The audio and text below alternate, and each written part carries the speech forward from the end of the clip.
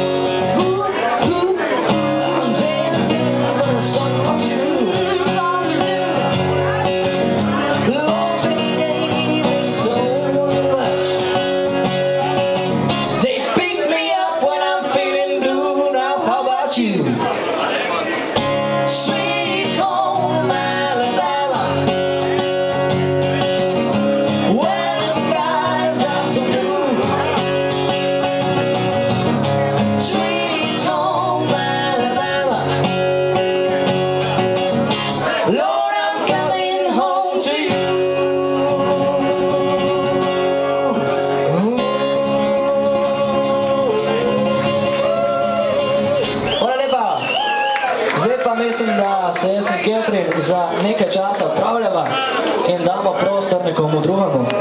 A drži? Ne drži še? Drži ali ne še? Ne drži.